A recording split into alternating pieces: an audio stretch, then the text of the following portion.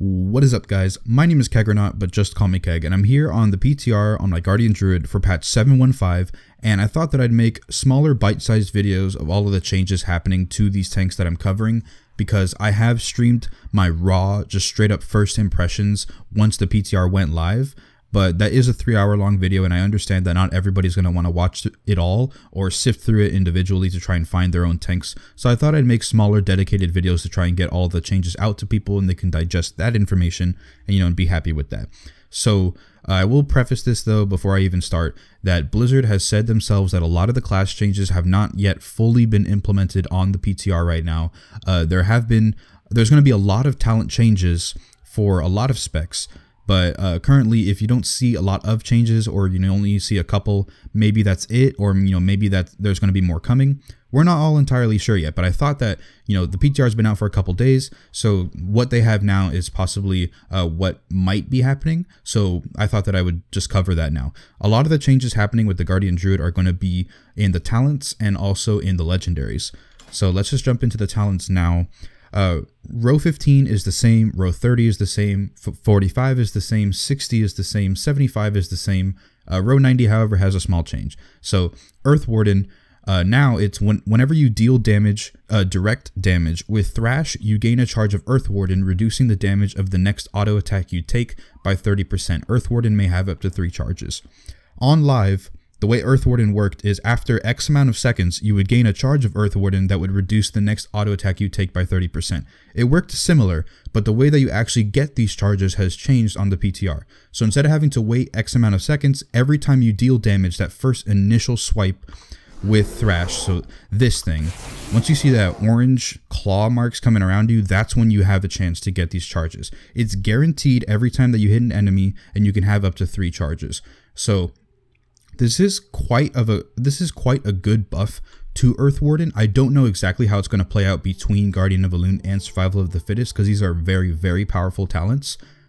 But maybe in dungeon scenarios where you know you're just tanking a lot of ads or maybe even something like world quests, Earth Warden is going to pull out a little bit in terms of just raw damage reduction. However, we do have to think that this is on only auto attack damage. So 30% damage reduction only on auto attack damage compared to Guardian of Elune which increases the duration of Iron Fur and Mark of Ursol by 2 seconds and increases our healing on Frenzied Regen by 20%. That's hard to beat. Additionally, Survival of the Fittest is also quite hard to beat because you can pair this with Brambles, you can pair it with Lunar Beam also, you can pair it with Rage of the Sleeper and just do a bunch of AoE on-demand damage where Earth Warden, you know, I don't know, I mean maybe it'll pull out a little bit, but it's definitely better than it is on live right now, but it's not as good as it possibly could be. But either way, you know, it's still kind of a beginner talent, which is fine.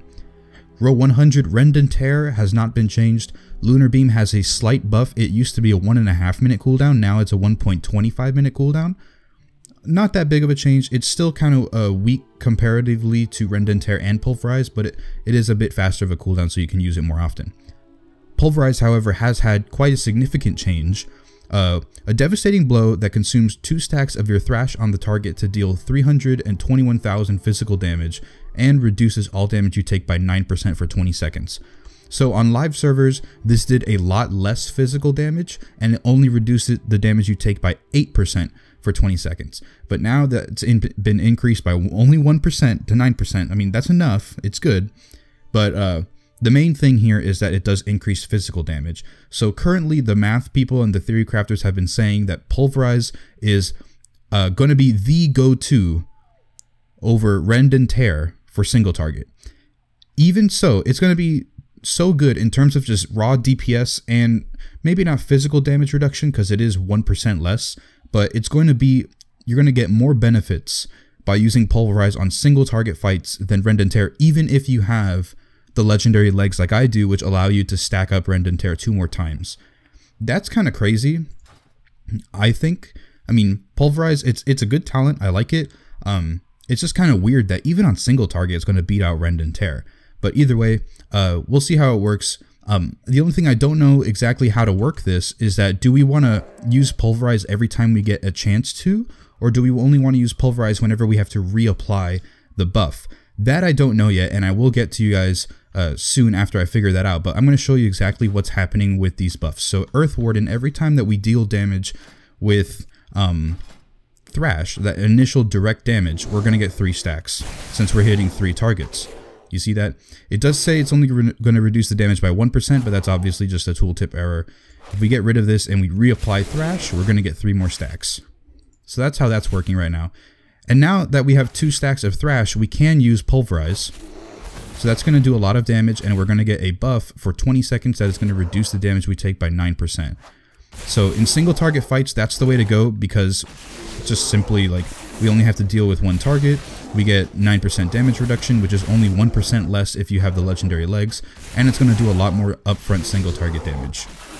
So that's kind of how the changes are working right now. Not too drastic, but definitely some minor improvements. However, a lot of the other changes that we have are taking place in the legendaries. So Blizzard has buffed a couple of the general ones, including Prydaz and Sephuz, and we'll also see possibly another spec-specific legendary soon. So let's get out of combat. So Prydaz, uh, this was kind of a, a meme, really, if you were able to get this neck piece and you were a tank, because you just honestly couldn't really proc it that often. But now on PTR, it says every 30 seconds gain an absorb shield for 30% of your maximum HP every 30 seconds. That's it. Just every 30 seconds, you're guaranteed 30% of your HP as a shield. Like, it's a really powerful guard, for instance, just every 30 seconds. And all of the math people and the theory crafters have been saying that if this goes live with this current implementation, then this is absolutely best in slot for Guardian Druids because we have the biggest health pool among all of the tanks. And so if we get 30% of our HP as a shield, guaranteed every 30 seconds, there's nothing that can outbeat this. This is too good of a legendary in terms of damage reduction, just because we have such a gigantic shield value. The chest piece has been buffed too. It used to be only a 50% increase of those effects that it's saying, but now it's 75%. That's okay. It's it's a little bit of a change, but uh, definitely it's still a good option. It's just a nice passive solid damage reduction.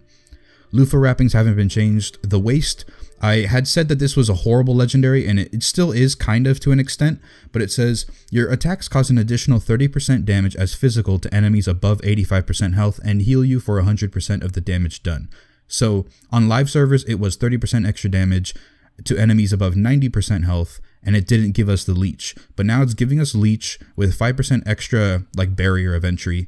Um, so it's okay. It's not that great, but uh, you know, definitely we'll see with more math stuff. But arguably, this is not going to be good at all for Guardian Druids. The legs have not changed. The feet haven't changed. This ring hasn't changed. Sephuz's secret has changed though, so successfully applying a loss of control effect to or interrupting an enemy grants you 70% increased movement speed and 25% haste for 10 seconds. This effect may occur once every 30 seconds. So now we have an increase of 10% more haste. So now we have 25% as of uh, instead of 15%. And now we can uh, get this buff every time that we either uh, like do a loss of control effect or that we interrupt something. So this is going to be pretty good for dungeons because obviously uh, haste is very good for guardian druids and 25% haste is like a mini bloodlust or heroism every 30 seconds as long as we can take advantage of this.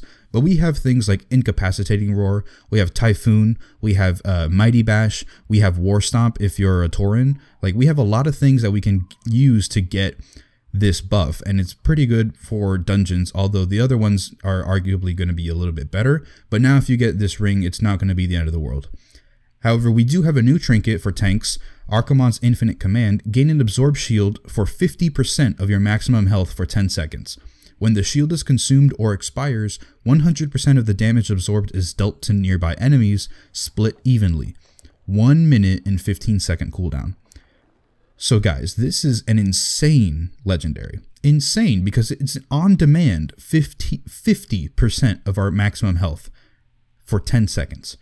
And it's a pretty large DPS uh, cooldown as well because it's going to do a lot of the damage. So it says 100% uh, of the damage absorbed is dealt to nearby enemies. So whether the actual shield itself, the whole thing, is consumed or if after 10 seconds it's expired, any damage that was absorbed with this is going to be dealt. So I have currently right now in bear form, I have 4.6 million health. So if I were to use this, I get 2.6 million HP as a shield And then after that, I'm going to do 2.6 million HP to all of my targets. If there's two targets, they're going to get half and half. If there's three, they could all get a third. If there's one target, though, that's a giant DPS cooldown if you can burn through all of it. Like on Ursoc, that's going to be a very large DPS increase every minute and every minute and 15 seconds because it's going to do 2.6 million damage every time. So this is a very, very, very good legendary. Arguably, the theory crafters have been saying that Prydaz and this trinket are going to be best in slot for uh, surviving for just damage reduction because it's so many guards and so many uh, just bubbles really that we can use to reduce our damage. However, we can't argue that Luffa wrappings is very good for damage. Uh, the chest piece is also very solid, just uh, damage reduction. We have the feet that is going to do a lot, a lot, a lot of healing for us. The legs are also very strong because in AoE situations, we're going to be able to get a lot of value out of Rend and Tear. You know, we, there's a lot of good legendaries. They made a lot of good changes. We'll see exactly what is going to guarantee best in slot. But currently, uh, the the general consensus is Prydaz, once this goes live, is definitely going to be best in slot for Guardian Druids for surviving, for just tanking in general. But either way, guys, thank you so much for watching. That's the end of the video. Uh, please like, please comment, share, subscribe, all those things, uh, and keep an eye out for further videos. I'm going to have the Brewmaster and the Vengeance Demon Hunter out soon, so you guys can keep an eye out for that. So once again, thank you so much for watching, and I'll see you in the next video.